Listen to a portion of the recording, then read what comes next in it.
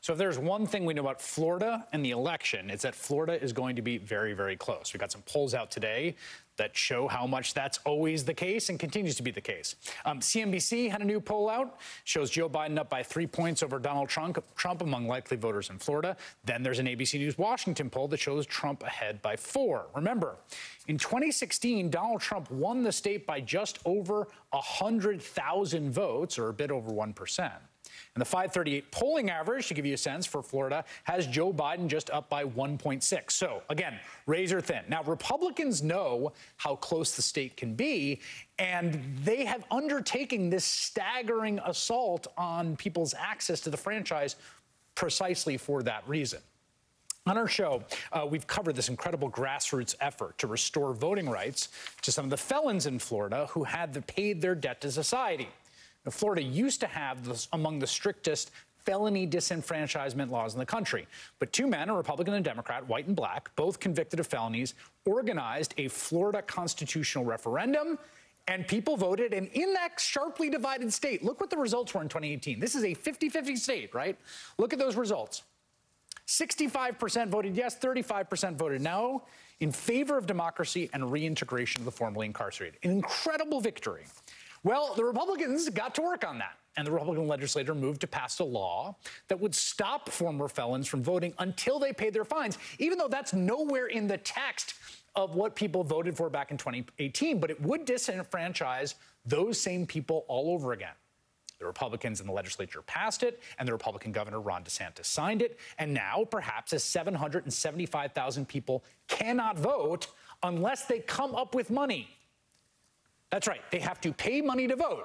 If that sounds like a poll tax, a federal judge agreed. Writing, quote, the 24th Amendment precludes Florida from conditioning voting in federal elections on payment of these fees and costs. Now, with the voter registration deadline looming on October 5th, less than two uh, weeks away, the Florida Rights Restoration Coalition, this grassroots group's working on this, has raised more than $20 million with a recent contribution from Michael Bloomberg to pay those fines in time to make sure every eligible voter in the state can cast a ballot this November. Joining me now are two people instrumental to this project Desmond Meade, president of the Florida Rights Restoration Coalition, who had his right to vote restored by Amendment 4 in 2018, and author of the forthcoming book, Let My People Vote My Battle to Restore the Civil Rights of Returning Citizens, and John Legend, a major fundraiser for the Florida Rights Restoration Coalition, who's also written and produced a few hit songs that you might have heard of. Um, let me start with, with, with you, Desmond, about where things stand right now. There's a, this has been a, a, such a struggle and so many two steps forward, one step back, and federal lawsuits. How would you characterize where things stand right now in terms of formerly incarcerated folks in your state having access to the ballot? Well, Chris, first of all, thank you for having me on again. It's great to see you. Uh, but let me let me start by saying this. You know, and I know you mentioned something about Bloomberg, but this thing is far beyond that. You know, I think that I'm happy, I'm smiling because I'm seeing something amazing. Over 44,000 people across the country have been standing up to free to vote in Florida that believes that a person should not have to choose between putting food on their kid's plate or voting. They shouldn't have to choose between paying their rent or mortgage or voting. And so this is is, is an amazing uh, a display of, of people just standing up to defend uh, creating a more inclusive democracy. So where do we stand? I'm going to tell you where we stand. That we have 1.4 million Floridians uh, who benefited from Amendment 4. And out of those 1.4 million, there's 774,000 who have some type of outstanding financial obligations.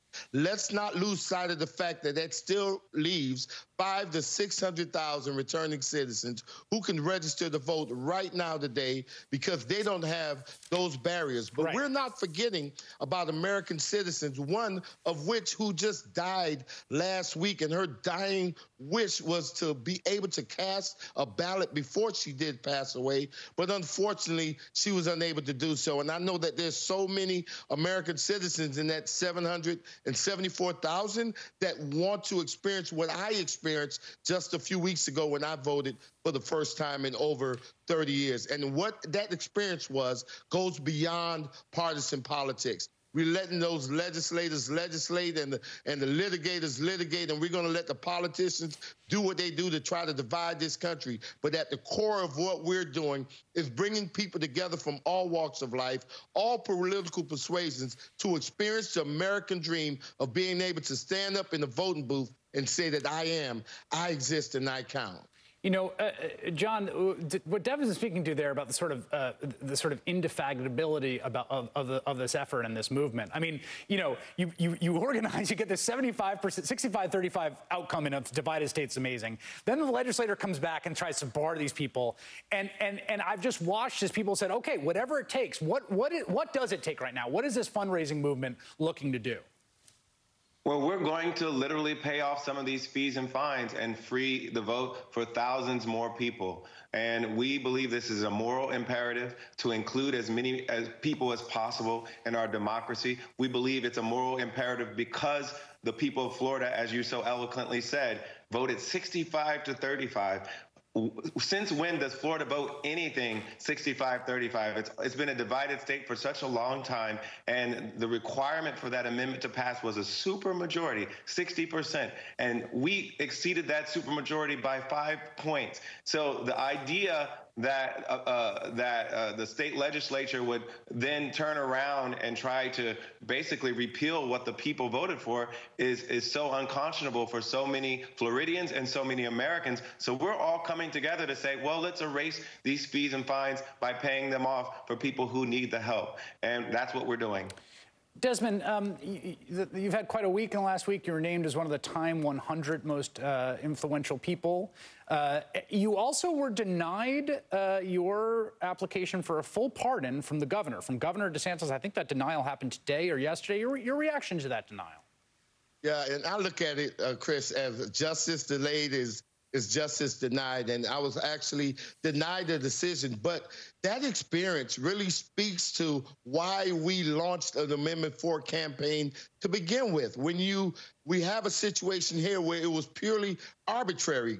Clemency hearings are designed to look at what a person does after they have committed their crime, how they have rehabilitated themselves, how have they become an asset to the community. And it's very laid out. My track record is very clear. Uh, the work that I do with the homeless, the work that I do with returning citizens, the work that I've done even in responding to COVID 19 in prisons and jails. And, and I've had all kinds of accommodations uh, from being named Floridian of the Year and Central Floridian of the Year, and even Time 100 most influential in the world. And if that is not enough to show rehabilitation and a commitment to giving back to the community, then what is? And it just speaks to the arbitrariness yeah. of this clemency process that we've been talking about for many years. And that was the purpose. Well, how could we let four politicians just rule arbitrarily to decide which American citizen get to vote and which don't. Amendment 4 created an alternative pathway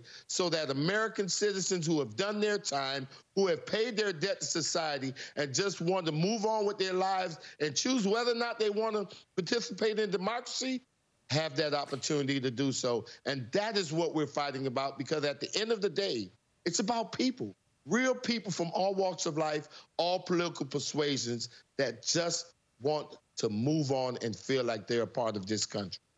Um, John, I, I want to ask you, since I have you here, and obviously on this uh, this sort of somber day when we got this announcement out of the state of Kentucky about charges for uh, one of the officers involved in the shooting and death of Breonna Taylor. I know you wrote uh, an op-ed on her birthday. You've been very vocal uh, in in looking for some kind of accountability and justice for Breonna Taylor, and for people that are feeling frustrated or angry or disappointed or upset. I wonder what you want to say about your own reaction today to that announcement.